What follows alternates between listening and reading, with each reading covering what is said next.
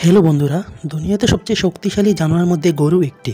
গরু অনেক সময় হিংস্র হয়ে থাকে, যতক্ষণ এটা আপনার কন্ট্রোলে থাকে, ততক্ষণ সবটে কন্ট্রোল থেকে বের হয়ে গেলে এটা আপনার জন্য অনেক ক্ষতিকারক হতে পারে। আজকে আমি এই ভিডিওতে আপনাদের দেখাবো পৃথিবীর কিছু শক্তিশালী গরু, যেগুলো দেখে আপনাদের হুঁশ উড়ে যাবে। চলুন দেখে নেই এমনই কিছু গরু। আর হ্যাঁ আপনি যদি এমনই আরও রহস্য রোমাঞ্চকর ইন্টারেস্টিং ভিডিও দেখতে চান, তাহলে আমাদের চ্যানেলটিকে সাবস্ক্রাইব করুন। ব্রামা আপনারা কি জানেন, এই জাতের গরু আমাদের দেশেও পাওয়া যায়, এই জাতের গরু আমেরিকা এবং ইন্ডিয়াতে হয়ে থাকে, এই গরুর ওজন হাজার কিলোগ্রামের উপর হয়ে থাকে।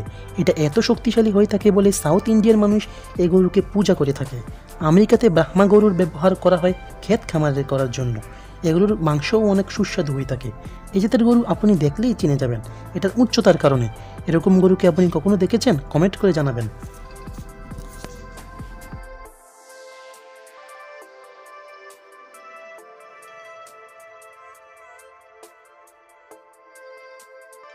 লিমোজিন। বন্ধুরা, বলা হয় বডি বিল্ডিংয়ের জন্য এর থেকে বড় গরু পৃথিবীতে আর নেই। একটু দেখেন এটা কেমন দৈত্যের মতো লাগছে। এগুলোর ব্যবহার খেতি বাড়িতে করা হয়। এই গরু মূলত ফ্রান্সে পাওয়া যায়। এই জাতের গরু একসাথে অনেক ক্ষেতের ফসল নিমিশেই খেয়ে ফেলে। এগুলো অনেক জোরে দৌড়াতে পারে। এজন্য এসব গরুগুলিকে ফ্রান্সে রেসিংয়ে ব্যবহার করা হয়। এগুলোর ওপর অনেক টাকা বাজি লাগানো হয়। দৌড়ে জিতে গেলে এগুলোর মালিক রাতারাতি বড় হয়ে যায়।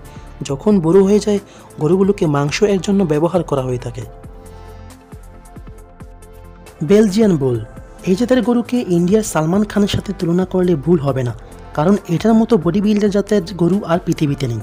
যদি বিশ্বাস না হয়, তাহলে একটু ভালো করে দেখেন, এটা কত শক্তিশালী লাগে দেখতে। এগুলো হাজারো সাল থেকে বেলজিয়ামে, কিন্তু প্রথমবার মানুষ জানতে পারে উনিশশো ষাট সালে। এগুলো দিয়ে কৃষক খেতে কাজ করায়। এগুলো এতই শক্তিশালী এবং খাদক হয় যে একসাথে হাজার মিটার লম্বা ক্ষেতের ফসল খেয়ে ফেলতে পারে। এই গরুগুলোকে যদি আপনি প্রথমবার দেখে থাকেন, তাহলে লাইক দিতে বলবেন না।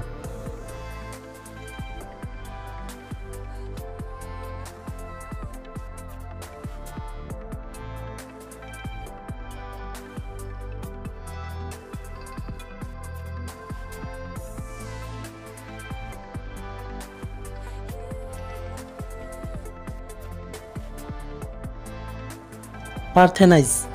দোস্ত, এই গরুর জাত ফ্রান্স এবং আয়ারল্যান্ডসে হয়ে থাকে। এসব গরু একদিনে চল্লিশ থেকে পঁয়তাল্লিশ কেজি দুধ দিয়ে থাকে।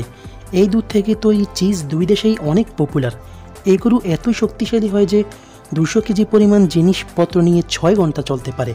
ফ্রান্সের লোক এটাকে দ্য রক বলে রাখে এগুলো লালন পালন করতে অনেক বেশি টাকা খরচ হয়, কারণ অনেক বেশি পরিমাণ খাওয়াতে হয় এই গরুগুলোকে।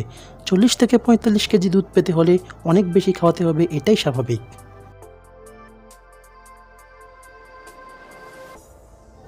Sultan Indian bull. ইন্ডিয়ার সবথেকে বড় গরুর মধ্যে একটি সুলতান। এই গরুর সিমেন অনেক বিখ্যাত। এই গরুর খাওয়ার লিস্ট শুনলে আপনি চমকে যাবেন। এই গরু একদিনে পনেরো কেজি আপেল, দশ কেজি গাজর, বারো কেজি পাতাকপি, দশ কিলো দুধ খেয়ে থাকে। একদিনের খাবারের জন্য মালিকের খরচ হয় তিন হাজার টাকা। শুনলে অবাক হবেন, মদও খেয়ে থাকে এই গরু।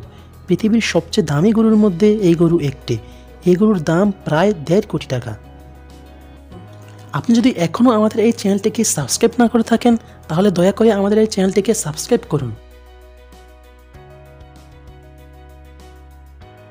ম্যানে আঞ্জুম, এটাও ফ্রান্সের এক গরুর প্রজাতির যা শক্তির দিক দিয়ে অনেক এগিয়ে। এটার ওজন হয় চোদ্দোশো কেজি। এইসব গরু আটশো কেজি ওজন নিয়ে এক জায়গা থেকে অন্য জায়গায় সহজে চলে যেতে পারে।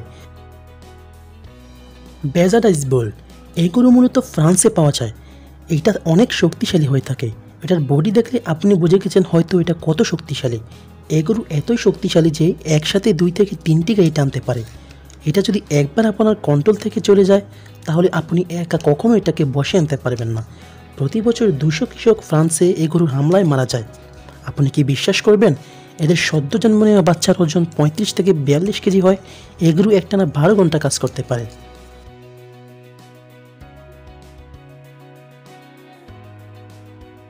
ল্যাজিস বকরেস, এই ব্যক্তি বলেন, আমার গরু যে দেখে সেই আশ্চর্য হয়ে যায়।